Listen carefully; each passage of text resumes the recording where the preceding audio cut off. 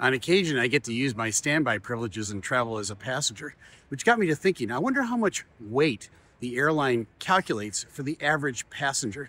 And it's actually fascinating. Uh, it fluctuates by time of year.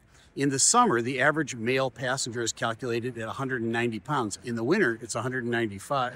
Why is that? Well, because we eat more in the winter and we exercise less. And we also carry more of this kind of stuff like a heavy coat or hats and gloves. The average female passenger is 179 pounds in the summer and 184 pounds in the winter. That doesn't mean that they weigh that much.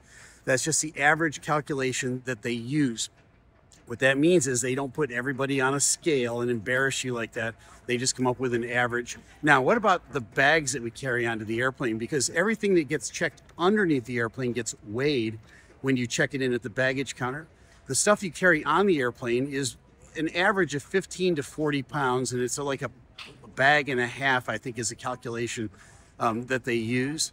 But then on top of that, you think, well, wait a minute, I think people weigh a lot more than that. Are they under calculating the weight? No, there's a fudge factor that goes into all of that. I want to say it's somewhere around 10%. If you know in the comments, let me know. But there's a fudge factor that goes in on top of all of that so we don't take off overweight. Now you know. I'm Captain Steve. Fly safe. Wait, don't go yet. Do me a favor. Become Captain Steve's new best friend. Hit the like button uh, share, and subscribe.